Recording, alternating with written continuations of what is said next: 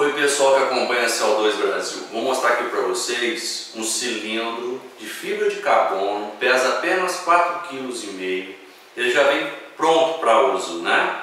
Ele é de 9 litros,2, ele trabalha com a pressão de 310 bar ou 4.500 PSI, ele é testado com 517 bar, ou seja, 7.500 PSI, é o, é o teste dele, mas ele trabalha com 310. Já vai pronto com a válvula, essa válvula é uma válvula Jubilé, já vem aqui o manômetro, já vem o vente, já vai a estação aqui, né, a estação de recarga e já vem uma alça para transportar, ok? Né?